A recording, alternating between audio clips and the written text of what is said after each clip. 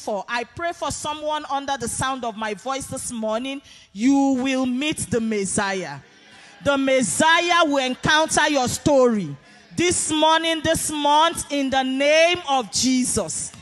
Jesus said to them, My meat is to do the will of him that sent me and to finish his work pray that you will be so consumed with the word of God. You will be so consumed with the will of the Father. You will be so consumed doing all that concerns God that every of your hunger will disappear in the name of Jesus.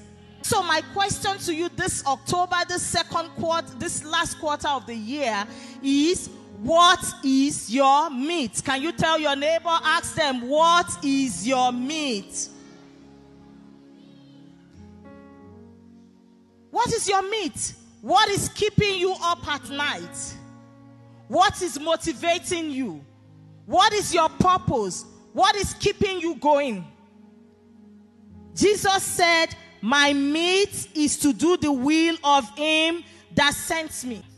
Ladies and gentlemen, brothers and sisters, this morning I want to remind you that life is more than all we see on the surface.